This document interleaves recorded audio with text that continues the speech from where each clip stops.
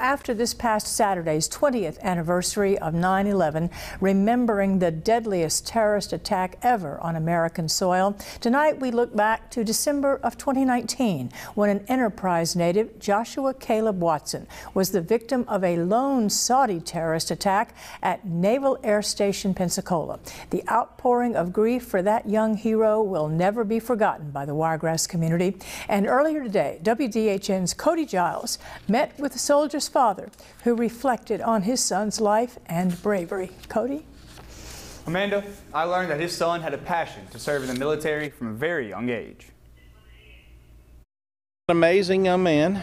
Um, he um, wanted to be a soldier from the time he was five years old. Very motivated, very driven. Kaleb just had a way with making friends. Ensign Joshua Kaleb Watson, 23, was killed during an active shooter event in December of 2019. He was shot multiple times, but still managed to save lives while wounded. On his way out, he was warning sailors to take cover, active shooter, run, because the entire uh, command, the training command for pilot trainees, were coming there for roll call. And he gave away his position. Which caused the gunman to return and shoot Kaleb Watson again. I asked Benjamin Watson, would he still recommend people to join the military, knowing what the possible outcome could be?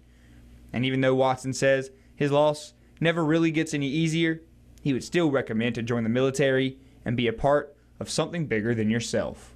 The military is a good choice.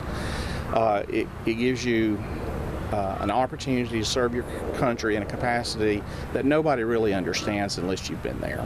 Um, I've seen in my 10 years teaching here in the Wiregrass, I've seen over 50 of my students sign up. You know, all across America, uh, we've paid a price. Uh, Gold Star families have paid a price for freedom, and there are hearts um, that are aching every night.